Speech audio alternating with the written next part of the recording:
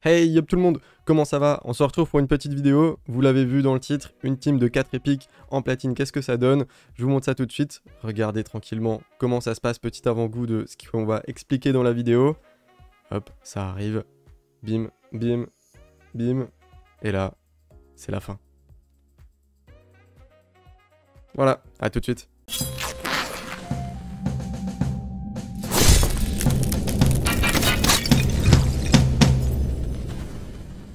Alors, on se retrouve dans les champions, donc ceux qui m'ont permis euh, de, faire ça. Donc déjà, un grand merci aux membres euh, des euh, IPR qui ont un petit peu théorie-craft cette team, c'est-à-dire que c'est Angel, Xiao, Invi, et désolé si j'en oublie d'autres, qui ont un petit peu théorie-craft cette team, c'est-à-dire que j'avais présenté, moi, Cardinal en Stone Skin, qui pouvait du coup comment réanimer toute la team et ne pas prendre les debuffs. Et puis, à partir de ça, ils ont un petit peu théorie-craft, ils ont un petit peu avancé, ils ont vu que Gamebo pouvait être très intéressant, euh, une série bien sûr était intéressante, un seeker aussi, mais maintenant il y en a d'autres qui peuvent remplacer euh, le chercheur. Donc voilà, on va parler un petit peu de cette team. Et puis euh, un grand merci à eux pour l'imagination. Vous voyez ce qu'on est capable de faire chez IPR, c'est vraiment vraiment cool. Alors commençons avec la cardinale. la cardinale ici, on l'a mis en 6 stone skin. Alors pourquoi 6 C'est vrai que 4 pourrait faire le même effet. En fait 6 c'est afin que s'il y ait une team euh, avec justement du stone skin en face, euh, ils aient le temps de jouer deux fois avant nous. Euh, et du coup, sur le premier tour de la cardinale, on ne réanimerait pas encore. On laisserait encore un tour aux ennemis à jouer avant de réanimer pour taper sur des gens qui ne seraient pas en stone skin. donc, c'est pour ça qu'on est parti sur 6. Maintenant, si vous voulez partir sur 4, ça fonctionne aussi. L'important sur cette cardinale, c'est d'avoir des bijoux réaction si vous le pouvez. Euh, j'en ai qu'un, donc voilà, vous voyez qu'on peut se démerder quand même avec un seul. Et puis derrière, sur le Stone Skin, le but c'est d'avoir au moins 4 pièces, 6 euh, pièces comme je l'ai dit, c'est peut-être un petit peu mieux. Et puis derrière, aller chercher un maximum de résistance. Alors là du coup, hop, je me déplace un petit peu sur les stats. C'est-à-dire que on est parti avec un maximum, donc on est à 715. Euh, j'ai eu de la chance un petit peu au niveau de mes pièces. J'ai eu une pièce ici qui m'apporte pas mal de résistance. Ici, double roll, double roll. Euh, bon, ici, une pièce énorme. Euh, ici, double roll. Ici, du coup, un torse en main stat. Et puis là, ici, triple roll. J'ai également une amulette énorme, etc. Mais ça, c'est parce qu'on joue en platine. On se bat contre des gens qui ont plus de 700 de précision limite sur leur Kimar ou bien sur leur Ceris. En tout cas, sur leur, leur stripper. Donc, voilà, c'est euh, tout est proportionnel, c'est-à-dire que si vous faites cette team en gold 4 où les gens ont peut-être que 500 euh, de, résistance, euh, que 500 de précision sur leur série ou leur Kimar, et eh bien du coup vous allez réussir normalement à rester et à ne pas perdre vos buffs. Même si en plus de ça le Stone Skin, vous avez, enfin l'ennemi n'a que 50% de chance de vous retirer ou de vous enlever le debuff de Stone Skin. Donc du coup vous êtes assez tranquille, même s'il a plus de précision que vous, c'est quand même un 50-50 pour lui. Donc, enfin, pour vous aussi. Donc voilà. Au niveau des maîtrises, tout simplement, on est parti avec maximum de résistance ici, résistance ici aussi, et puis cette petite truc là qui donne également possiblement plus de résistance, celle-ci aussi. Enfin voilà, on allait chercher partout où il y avait marqué résistance, on l'a pris. Ensuite, on allait chercher un petit peu d'HP parce que autre chose à savoir, le Stone Skin en fait va euh, prendre 50% de votre HP et vous le mettre en tant que petite barre bleue au-dessus de vous. Et cette petite barre bleue en fait, le buff Stone Skin va réduire euh, de 85% les dégâts entrants. Donc vous allez prendre en gros que 15% des dégâts. Et euh, par contre, si jamais un ennemi arrive à vous enlever cette barre bleue en faisant trop de dégâts, donc la barre bleue qui représente, comme je l'ai dit, 50% de vos HP, et eh bien du coup, vous allez juste perdre le buff Stone Skin. C'est pour éviter qu'il y ait des gens à 0 de speed en double Stone Skin qui cassent les couilles. Donc là, du coup, on est quand même parti avec 150 de vitesse environ. Vous pouvez en avoir moins si vous le voulez. Maintenant, ça peut prendre quelques risques si jamais il y a un refresh et que du coup, euh, vous avez euh, peut-être la série sans face qui va pouvoir rejouer. Ça lui laisse encore des chances de euh, foutre la merde. Donc voilà, pas trop lent non plus. on cherche pas la vitesse, mais pas trop lent non plus. Et puis au niveau des HP, si on pouvait en avoir un petit peu plus, on en prendrait un petit peu plus. Maintenant, je me suis pas pris la tête là-dessus et vous allez voir que ça fonctionne vraiment vraiment bien. au niveau des autres personnages, donc, bon, bien sûr, une série, c'est toujours cool. Pourquoi? Parce qu'elle va enlever euh, les buffs en face, ce qui est plutôt important, parce que vu qu'on joue après les ennemis, on les a euh, laissés se mettre des buffs, que ce soit du shield, que ce soit de la protection, que ce soit plein de choses. Donc du coup, quelqu'un qui retire les buffs en face, c'est plutôt important. Que ce soit une série, un Kimar, après un Kimar, euh, avoir un Kimar plutôt lent, c'est pas pas ouf, hein, c'est un peu un truc de luxe. Euh, mais du coup, sinon, il y a de la Cetalia qui fonctionne. Et puis, il y a du Ryan aussi, Ryan, je sais pas comment, comment vous dites. vous savez, le mob qu'on obtient dans la Doom Tower, qui retire les buffs en face et met un affaiblissement. Donc voilà, c'est jouable à ce niveau-là aussi. donc tout simplement, pas beaucoup de vitesse, parce qu'il faut pas jouer avant que les ennemis vous aient tué sur, sur leur première rotation de sort. je vous explique ça en live après. Et puis derrière, un maximum de précision pour pouvoir bah, bien sûr appliquer vos debuffs. Donc moi, je suis pas, euh, enfin, je suis allé chercher la précision, mais euh, faut vraiment pas lui mettre beaucoup de tankiness. C'est-à-dire que là, j'ai déjà un petit peu beaucoup de def et un petit peu beaucoup d'HP. Et euh, il faut éviter en fait ça, parce que l'objectif c'est vraiment qu'il meurt. Donc vous voyez qu'elle est level 35, elle a pas d'anneau, et elle va rester comme ça. Ensuite, on a le chercheur. le chercheur qui est vraiment remplaçable par beaucoup de choses. Je vous montre un petit peu la petite liste. Ici, c'est la liste des personnages qui augmentent l'attaque en zone sur nos alliés. Vous avez Arbitre bien sûr, mais on va pas la mettre là. Bracus, je vous explique après, il y a une team avec Bracus qui peut être très intéressante. Maintenant c'est pas un épique donc ça ne rentre pas dans le titre de la vidéo. Drogul peut-être un peu trop tranquille, Lilitu également. Ghostborn utilisable. Krilla Lanakis utilisable. Scartor 6 également. Euh, Brony peut-être un petit peu trop tranquille. Yoshi bien sûr utilisable, très très bon. Euh, Battle Sage, Jumpfront, etc., etc. Ils sont tous utilisables. Et vous avez même, pourquoi pas au forêt, qui pourrait être intéressante parce qu'en gros ce qu'elle fait elle c'est qu'elle augmente l'attaque, elle augmente également le taux crit. Donc du coup euh, votre euh, après, je vous conseille Gamebo, pourrait être avec 30% de moins de taux crit. Euh, donc voilà, je crois que c'est l'une des seules qui fait ça si je dis pas de bêtises, mais plutôt intéressant du coup à ce niveau là, si vous voulez mettre une eau forêt. Moi maintenant je mets un chercheur, pas grande utilité, le fait de booster le compteur de tour ne sert pas à grand chose. je joue parfois également avec une Spectre, alors attendez, je vous montre ça. Donc une espectre justement que j'ai laissé euh, tout en bas, euh, ici. Une espectre ici euh, pour justement mettre juste l'augmentation d'attaque, parce que le break def normalement est déjà mis par Ceris. Donc vraiment, je lui ai pas laissé beaucoup d'HP. Euh, donc juste équipé comme ça avec un petit peu de vitesse et c'est tout. C'est ça qui est fou avec cette team, c'est que vous pouvez euh, très très peu les équiper. Et puis du coup, il y a le Bracus bien sûr qui sert un petit peu. Je lui ai piqué une pièce, je sais plus pourquoi, mais le Bracus qui sert à avoir un deuxième DPS et puis en fait à euh, bloquer les Lidja, c'est-à-dire qu'il va se réanimer lui-même quand il meurt. Et du coup, le fait de faire ça, ça va consommer le passif de Lidja. Et puis ensuite, il va faire ce gros sort en faisant des gros dégâts euh, à un champion en mono-cible. Et en même temps, mettre un buff d'attaque à tout le monde. Donc ça fait un peu double nuker. Donc c'est vraiment pas mauvais. Maintenant, euh, vous pouvez pas l'utiliser s'il n'y a pas Lidja, parce que sinon il va se réanimer et il fera ce sort là dans le vide. Euh, et du coup, quand vous allez réanimer avec Cardinal les autres champions, il aura déjà joué et les autres champions n'auront pas le buff attaque. Donc ici, Gembo, le dernier. Alors pourquoi on aime beaucoup Gembo? Parce que tout simplement, euh, il a un passif qui fait que euh, va, s'il a une augmentation d'attaque sur, euh, sur lui, c'est pour ça que c'est important et que ça marche pas avec Bracus, il va ignorer les buffs intuables sur les ennemis. Par exemple, tout ce qui est Leorius, tout ce qui est Swift Parry, enfin Parade Vivace sur les Lilitu, etc. Ça va fonctionner. En plus de ça, au début de son tour, enfin en premier spell, il augmente son taux il augmente son dégât crit. Donc si vous jouez avec Forêt, vous avez déjà 60% de taux euh, que vous n'avez pas besoin de mettre. Donc vous pouvez maximiser au niveau des dégâts à fond, à fond, à fond. C'est ce que j'ai fait, vous allez voir après le stuff. Et puis ici, il a une attaque justement qui attaque en AOE et euh, qui fait des gros dégâts. Donc voilà, tout simplement, ça fonctionne très très bien. En maîtrise, je suis parti là-dessus. Est-ce que vous voyez bien derrière moi? Non, pas vraiment, je me décale. En maîtrise, je suis parti là-dessus. Euh, donc euh, voilà, des maîtrises de nuker un petit peu classiques, euh, tout simplement. Et puis en stuff, du coup, je suis parti là-dessus. Donc en cruel sauvage, si vous avez que du sauvage, ça fonctionnera aussi. et puis du coup, voilà, pas mal d'attaques, pas mal de dégâts crit, 70% de taux forcément, comme je l'ai dit. Et puis par contre, très très lent, pour être sûr que tout le monde ait joué avant et qu'on puisse faire des gros dégâts avec tout ça. Et puis assez peu tanky pour que, bien sûr, il meure. Donc voilà, maintenant, euh, comme j'ai dit, c'est proportionnel, c'est-à-dire qu'on va s'attaquer ici à des teams qui sont des teams de rang platine, qui sont des teams du top 500 euh, comme en world, donc du coup c'est normal qu'on ait un gros gros stuff.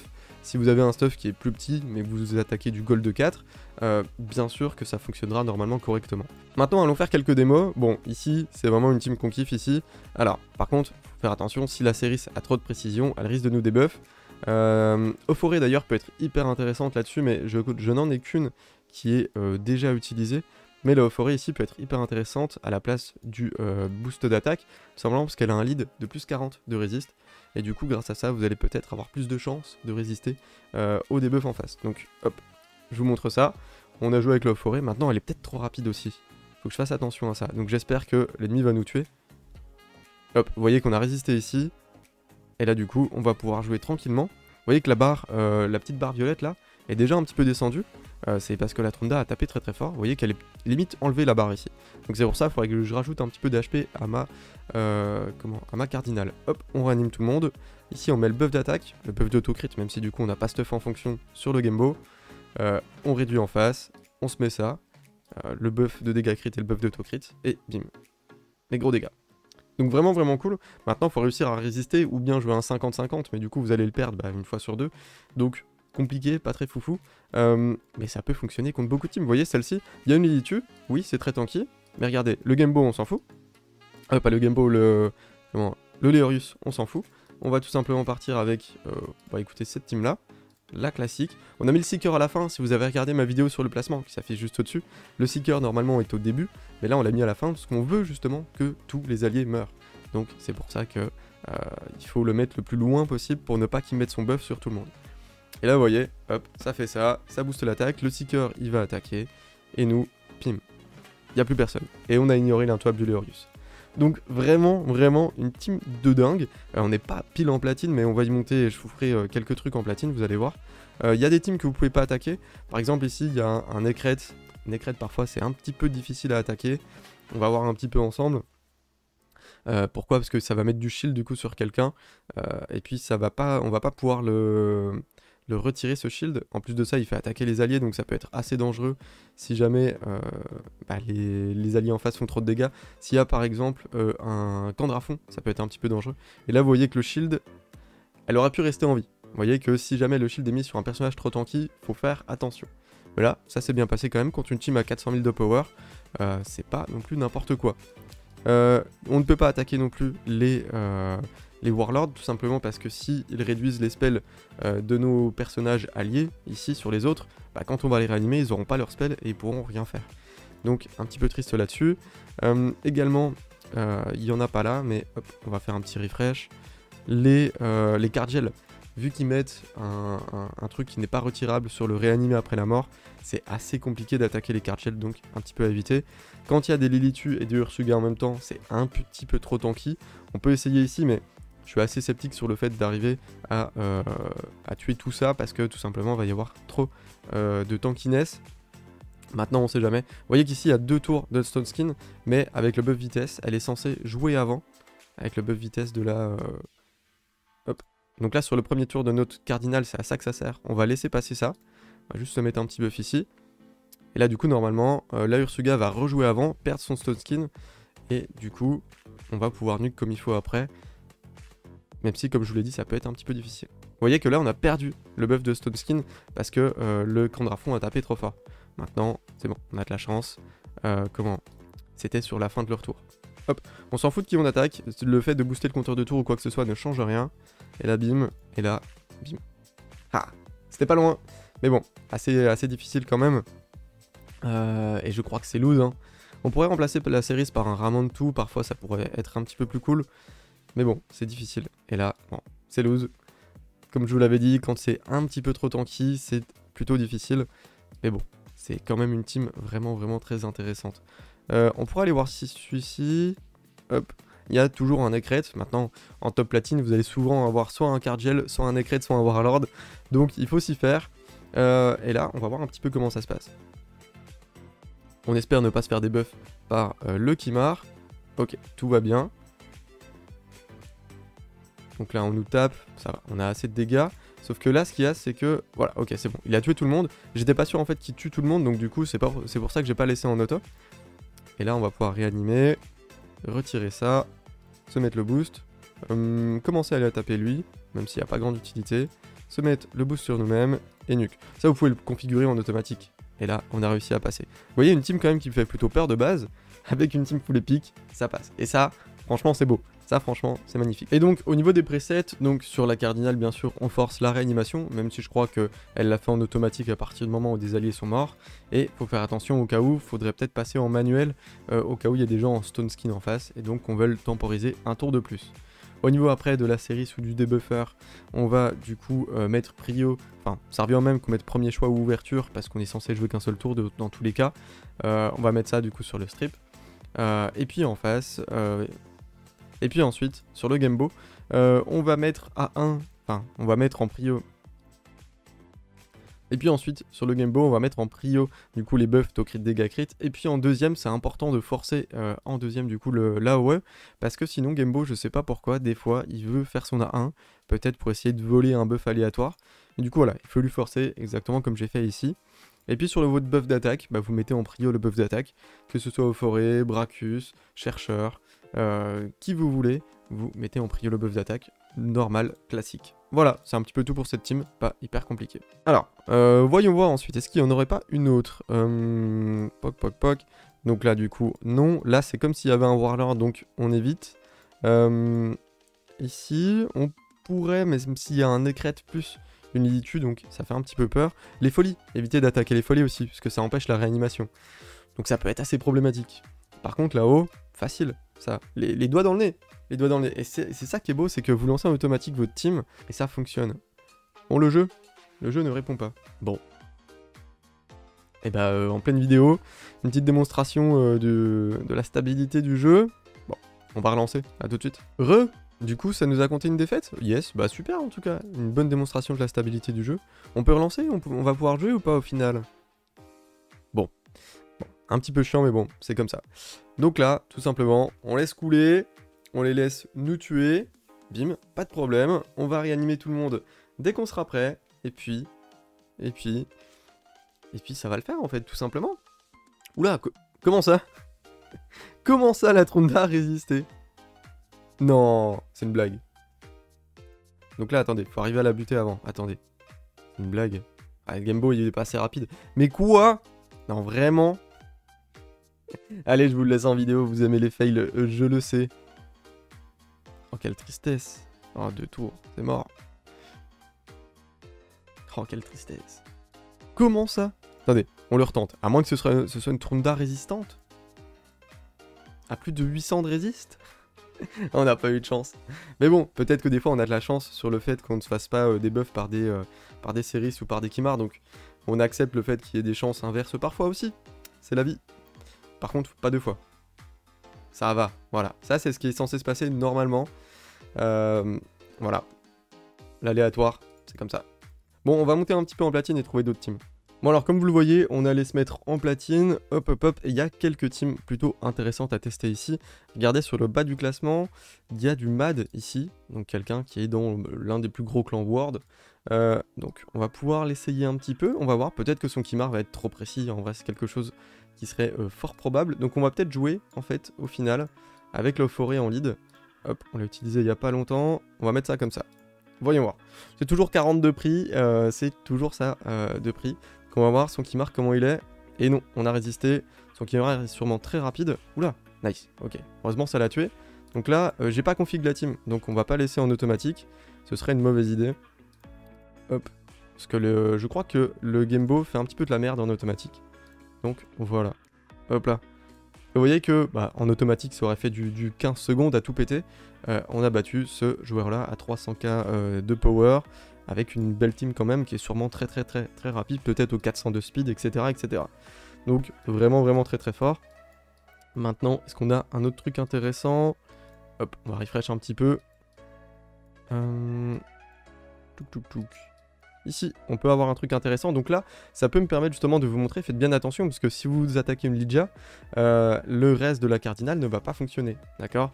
Euh, Parce que Lydia va le bloquer. Donc c'est pour ça que je vous conseille d'utiliser un Leorius, ou bien euh, d'autres personnages qui pourraient se booster, enfin se réanimer eux-mêmes, euh, alors d'autres personnages qui se réaniment eux-mêmes et qui mettent en plus de ça un buff attaque, je crois pas qu'il y en ait beaucoup. Euh, par contre sur cette team là, je pense pas qu'il y ait quelqu'un en suivre Paris. Donc du coup ce serait pas problématique de ne pas avoir de buff attaque pour Gamebo. Voilà, on va laisser tourner ça comme ça. Et puis euh, normalement ça va le faire. Hop, en gros je vous montre. L'idée c'est que la Latronda nous tue tout le monde, lui, bah, du coup, a essayé de se réanimer, ça l'a refusé par euh. Ce qui veut dire que maintenant, son passif est en cooldown, qui nous bloque la réanimation. Donc on va pouvoir se réanimer à peu près comme on veut, juste maintenant. Hop là. Et là, on peut jouer comme on veut. Le Leorius va faire des gros dégâts en mono-cible, voilà. Ça peut, ça peut suffire à tuer une Lilitu ou un truc comme ça, un bon Leorius. Hein. Et là, du coup, on a réussi à le battre. Hop. Si on regarde un petit peu autre part... Euh, alors, les Tormines aussi sont problématiques. Je vous l'ai pas dit, mais les Tormines aussi peuvent être très problématiques. Tout simplement parce que euh, bah, quand vous allez réanimer vos alliés, ça va les booster à TB en fait pour les mettre à 100%. Et donc, euh, ça peut les givrer à cet endroit-là. Puis même sur les buffs attaques et tout que vous vous mettez, ça peut être très dangereux. Par contre, ici, la petite dernière team, il y a peut-être moyen de passer. Hop, on va plutôt y aller avec cette team-là. On va même en fait remettre la forêt. Je pense que je vais me créer une team en, auto avec la forêt, hein, parce qu'elle est vraiment vraiment cool. Et là, du coup, on va lancer comme ça, jouer en manuel parce que la team n'est pas créée en auto. Et on va voir si le Kimar arrive à nous débuff. Ah, on, a, on s'est fait des buffs. Et là, c'est problématique. Donc, on va retenter pour voir si c'est euh, unlucky ou bien s'il est juste à plus de, plus de 700 euh, de précision. Ce qui est possible, hein, en platine, on voit quand même des gens à plus de 700. Mais cette team-là, en gold 4, si vous avez euh, pas mal de résistance sur du set comment, Stone Skin, ça peut être vraiment pas mal. Bon, ma forêt problématique euh, n'est pas morte, mais ça va, ok. Euh, on leur a laissé assez de tours pour jouer euh, avant. Et là, du coup, hop, on se buff, on met ça, on met ça. Et là, on va pouvoir se remettre ça pour le buff dégâts crit. Et on va pouvoir nuker. Je crois que ça change rien, la personne que vous visiez, donc voilà. Ouh, et rester en vie. Bon, je pense que ça va le faire quand même. Pense que ça va le faire. Tout le monde dort. Est-ce qu'il va être fier? Non. Ok. Euh, ça, ça sert à rien, on est d'accord? Ok, le forêt qui a fait le taf. Voilà. Donc, euh, ouais, une team avec Ophory peut être vachement cool. Maintenant, ma Ophory est très tanky bah, pour les Faction Wars classiques. Donc, du coup, euh, bon, on va voir comment on peut faire. J'en ai pas une deuxième, malheureusement. Mais voilà. Même chose ici, on peut y aller avec un petit Bracus. Je crois j'ai dit Leorius tout à l'heure, mais Bracus, qui va du coup se réanimer et bloquer la Lydia. Mais comme je t'ai dit, hein, si vous n'avez pas Bracus, vous pouvez y aller avec des home torture, des choses comme ça, ça fonctionnera tout aussi bien. Hop. Voilà. Ça change rien de qui on focus. Si, ça change parce que Bracus va faire euh, des gros dégâts en mono-cible, donc autant affaiblir le Brony, ou même le tuer comme ça. Et si vous vous rappelez, mon Bracus n'était pas euh, full, euh, full équipé, donc si vous l'avez, Bracus peut être vraiment un bon champion à utiliser ici. ici, ça peut paraître un petit peu, tanky, on va voir, il n'y a quand même pas de Lilitu, donc j'ai plutôt confiance. Voyons voir. Vous voyez qu'on les enchaîne depuis tout à l'heure, donc à partir du moment où il n'y a pas les personnages qui nous dérangent un petit peu, euh, on est plutôt tranquille. Après, bon, les personnages qui nous dérangent sont assez méta, donc ce euh, ce sera pas non plus toutes les teams que vous pourrez attaquer, mais euh, quand même pas mal de teams, et franchement, c'est moi je trouve ça vraiment cool comme team. vous vous laissez attaquer, et ensuite, c'est vous qui prenez la main, et qui faites des gros dégâts. Oh là là là là Oh là là là là, quoi. Les dégâts que ça a fait. Donc, ok, on a un gros Gembo, mais bon, en face, il y avait une grosse Ursuga, une grosse Sifi. Euh, je pense que vous l'avez bien vu. Euh, donc, ouais, ouais, non, franchement, une très très jolie team. Team très très intéressante. Et vous pouvez mettre des variantes dedans. Euh, ne pas attaquer non plus les tout.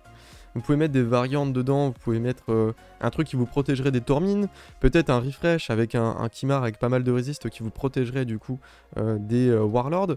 Enfin voilà, on peut trouver des alternatives, ça peut être pas mal. Parce que là par exemple, vous voyez qu'à chaque fois il y a un Warlord, ou bien un Cardgel, ou bien Full Warlord. Donc ça, c'est la vie en platine. c'est comme ça. là, il y a que du tanky, ok. Et là, par contre, bah, normalement, c'est full win, quoi. Vous voyez, dès qu'on voit une team où il n'y a pas justement les personnages un petit peu chiants, c'est full win. Les hégémons, on peut s'en battre complètement les couilles, et c'est ça qui est vraiment vraiment fort. Euh, c'est que vraiment, on peut être tranquille, pas besoin de... Enfin, aucun problème, on est de toute façon protégé au debuff. Et une fois qu'on a réanimé, une fois qu'on a réanimé, c'est la win. Petit bug, euh, petit bug de langue. Alors, vraiment vraiment cool comme euh, truc. Bon, ça on évitera, un peu trop tanky. Euh, là, la même chose, encore une team comme ça. Facile, des teams comme ça. Même s'il y a deux debuffers, ça peut être un peu dangereux. J'aurais peut-être dû mettre la forêt. Parce qu'ils ont peut-être un peu trop de précision. Surtout sur la série. Ah, non. Ça nous a enlevé l'autre debuff, mais pas celui-là. Ça, veut vraiment dire que c'était au pixel. Et là... Ok, ça l'a pas. Ça veut dire que, bon, on était quand même correct. Au niveau résistance. Donc voilà, essayez de lui mettre pas mal de résistance. Euh, maintenant, en 4 pièces, vous seriez capable, je pense, d'atteindre les, 500-600 de résistance.